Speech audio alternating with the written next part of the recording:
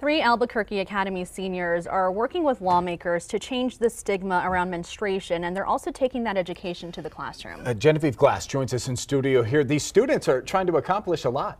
Yeah, they sure are, Todd. So for context, 20% of teenagers nationwide struggle to pay for menstrual products.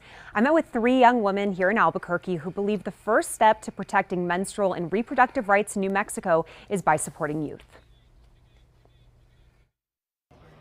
Rallying to change the conversation around menstruation. For us, it's something that asks the question of respect. It asks us what we are worth. If we are able to focus on class rather than having to find a pad, and we don't think that dignity and respect can really be given to us unless our basic needs are recognized.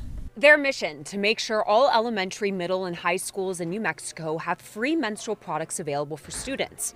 Albuquerque Academy administrators listened, and their students were grateful. There were thank yous, but there were also actual paragraphs. I was surprised by how um, emotive the sixth graders were about these products. But it wasn't just about the products. It was also education. Me specifically, I was always very ashamed of my period. Since then, uh, I've learned that it's not something to be ashamed of.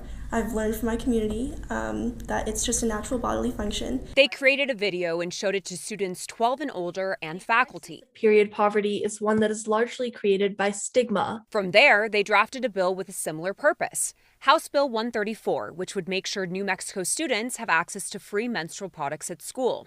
They then took it to the Roundhouse, where it passed unanimously through the Education Committee. We're really motivated by the intersectionality of the bill. So this is not just putting products in women's restrooms, it's also all gender restrooms and at least one men's restroom per educational building. Three friends fighting against period poverty all before graduating high school. So what's next? Well, they're headed to the House Appropriations Committee asking for $3 million to fund this bill. Now, most of that money would go towards dispensers, so once that's paid, costs will decrease in subsequent years. I'm Genevieve Glass, KOAT Action 7 News. Genevieve.